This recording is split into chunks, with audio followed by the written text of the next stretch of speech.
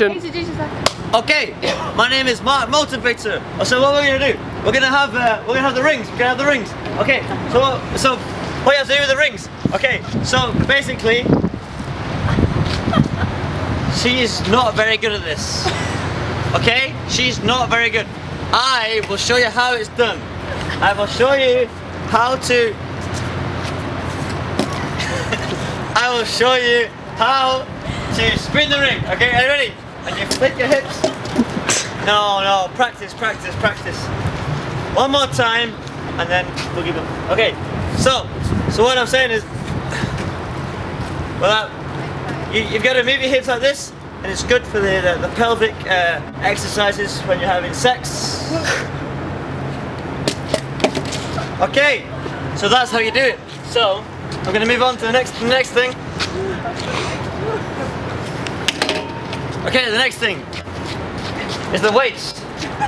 The weights. This is good for the biceps and the triceps. I use them often. Can you see? Yeah. Nice. Okay, so are you ready? Are you ready? All you have to do, all you have to do, all you have to do is you go, lift, fuck it up.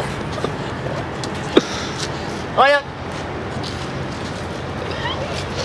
The other option is we go to this one, which looks a little bit lighter. and we can go, ah.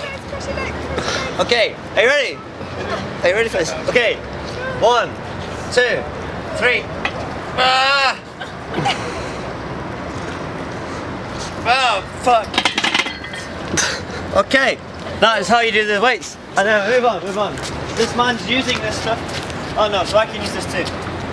Okay, so on this one, basically you sit on a wet seat, so now my non-existent underpants are not wet because I don't have them.